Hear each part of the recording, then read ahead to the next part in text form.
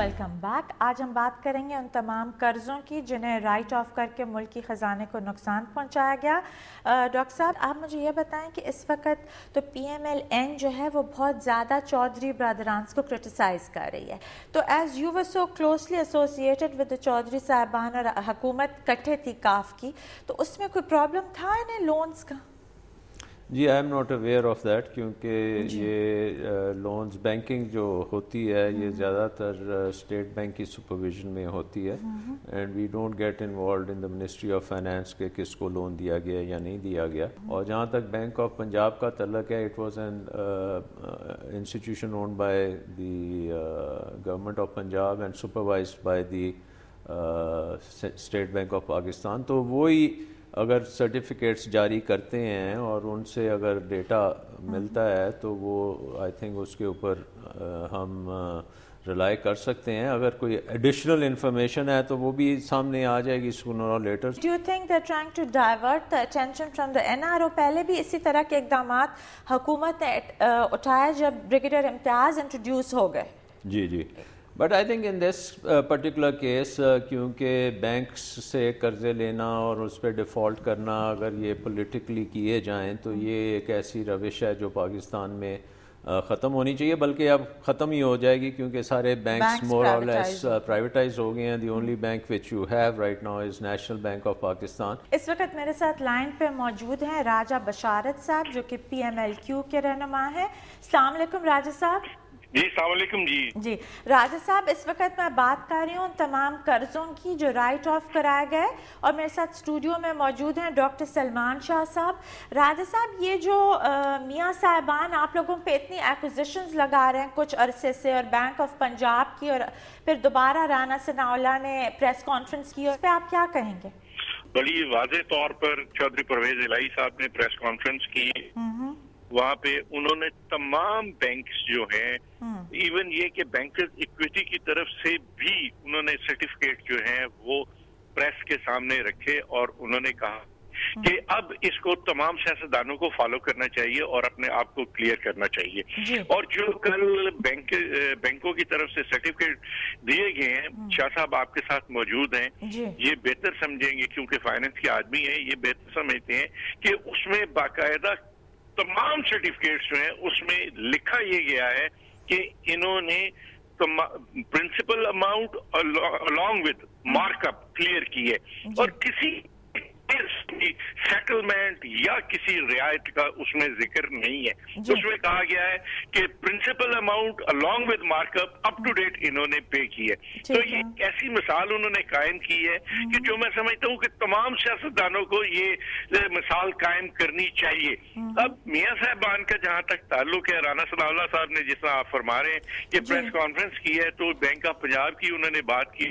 उन्होंने ये कहा कि दो अरब रुपए बैंक ऑफ़ पंजाब से खुद से उस खरीदार को दिलवाए गए जिन्होंने चौधरी साहबान की ज़ाती शुगर मिल खरीदी। और फिर उन्होंने ये भी इल्ज़ाम लगाया कि बैंक ऑफ़ पंजाब से सीएम साहब जो एक्स सीएम थे, परवेज लाई साहब, उनकी एडवर्टीजमेंट और सारी कैंपेन्स को फंड किया गया।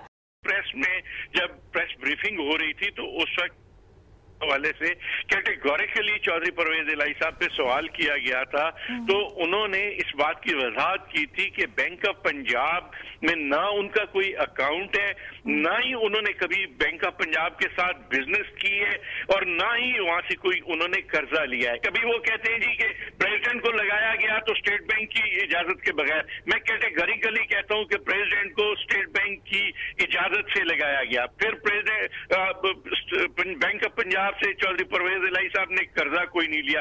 उनके खानदान का कोई अकाउंट नहीं खानदान का कोई कर्जा नहीं। पहले हम सुनते थे जी कि ये जो मुलजमान है बैंक ऑफ़ पंजाब के वापस आएँगे तो पता नहीं क्या क्या इंकशाफात होंगे वो वापस आ गए किसी ने नाम तक नहीं लिया। अब मैं समझता हूँ कि इनको खसियानी बिल्ली खंबा नोचे। ये इसके मुताबिक बातें कर रहे हैं। जब इनके पास कोई बात करने के लिए नहीं होती तो वो चीज़ें खड़ी कर देती हैं जिनका कोई जवाब कोई बुनियाद नहीं होती। अच्छा राजा साहब इन दी एंड मैं आपसे ये पूछूँगी कि परवेज इलाही साहब पे जो ये तीन हाउसिंग सोसाइटीज में दस अरब रुपए की करप्शन का इल्ज़ाम है इसको इस पर आप क्या कहेंगे? मैं मैं समझता हूँ। अब देखिए हाउसिंग सोसाइटीज के साथ चौधरी परवेज इलाई का क्या ताल्लुक है? अगर कोई प्राइवेट हाउसिंग सोसाइटी है या गवर्नमेंट की कोई हाउसिंग सोसाइटी हो तो उसका इल्ज़ाम जो है उसका जवाब दिया जा सकता है। अब प्राइवेट हाउसिंग सोसाइटीज के साथ चीफ मिनिस्टर का क्या ताल्लुक हो सकता है? मैं समझता हूँ कि ये राना सरावला साहब ने बात की है मुझे अफसोस इस बात का आता है लगता है कि वो जिस मनसब पे बैठे हुए हैं वो पंजाब के लॉ मिनिस्टर है। लॉ मिनिस्टर को बात करनी चाहिए कानून के मुताबिक और हालात के मुताबिक। वो उनकी मैं समझता हूँ कि एक ऐसी शख्सियत बना दी गई है मौजूदा हुकूमत की जानब से कि जो बात ना कहने वाली हो जो बात गैर इखलाकी तौर पर, गैर मुनासिब तौर पर करनी हो उसको आगे कर दिया जाता है, जिससे ना सर होता है, ना पाँव होता है, और ना कोई उसका जवाब होता है। राजा साहब, ये मुझे ये बताएँ कि परवेज इलाई साहब ने डिमांड किया कि ये लोग भी अपने क्लियरेंस सर्टिफिकेट्स दिखाएँ, चौधरी साहबान। तो उसका कोई इन्होंने जवाब नहीं दिया।